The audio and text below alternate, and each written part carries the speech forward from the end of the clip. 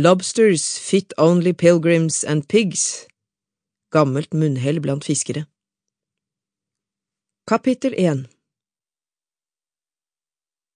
Havet var på sitt varmeste. Vannet klukket fredelig mot trebåtene som lå fortøyd ved kaia, og måkene på taket til havnekontoret virket mette og sløve. Bryggene føltes behagelig lune for den som gikk barbeint. Aldri var det så vakkert og vemodig på Saltøen som når sommeren strakte seg inn i en varm september. Stille og rolig. Skolen hadde begynt, og sommergjestene forsvunnet. Ingen tenåringer, ingen ølbokser, ingen turister som gikk flere i bredden på kaia i merkelige hatter og capser. Sola sto høyt og strålte forbausende varmt fra en mørkeblå himmel, lufta var glassklar, som et varsel om høst, konturene skarpe. Granittknausene avtegnet seg mot himmelen som på et grafisk blad. Likevel luktet det fortsatt sommer, brennmanetene samlet seg ved kaikanten, og lyngen lyste fiolett i bergsprekkene. De tre mennene på havnebenken så ut som statister for et postkort fra Bohuslen.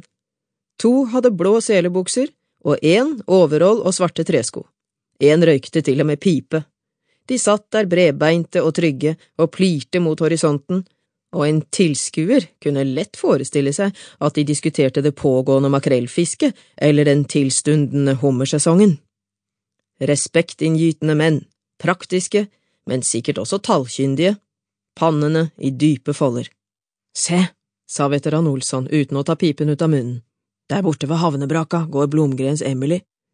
Fredberg spyttet ut snusen. At hun tør vise seg i byen, det er ufattelig, hele Saltøen ler seg i hjel av den tjukke kjerringa. Stakkars Blomgren, sa frisøren, først blir han forlatt av kona, så går hun og legger seg med en turist bak treningssenteret så hvem som vil kan se på. Men det ville man da ikke. Og verst av alt, hun stjal bilen til mannen sin. Den var registrert på henne. Mennene vendte dystert blikket mot bukserbåten Arvid, som tøffet ut fra kaia. Fredberg ristet på hodet. Nei, det verste av alt er vel at hun var frekk nok til å komme tilbake. Til og med på selve sankthansaften, da turisten var blitt lei av henne og hadde syklet sin vei, det har Blomgren selv sagt. Stakkars mann, en elefant glemmer aldri. Ja, hva var det hun tenkte på? Jeg tror noe har gått gærent med madammen etter at de begynte å gå på gym og dra på spa og bade i leire. De får fikse ideer. De ble avbrutt av Gustafsson, som kom kjørende med sin knallgule feiemaskin som både børstet og vasket rent etter sommeren. Han lot radioen stå på mens han stanset for å forhøre seg om hva karene diskuterte. Været? Travløpene? Rentene?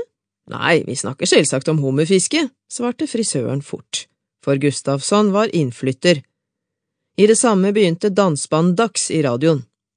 Vær stille, formante veteran Olsson. De spiller De siste hemska åren, den er pokker så flott. Det kom et vindpust, og fortøyningene til den største seilbåten knirket og knakte. En enøyd måke sto stiv mot vindretningen og ventet til sangen var slutt. Så lettet den og fløy til havs.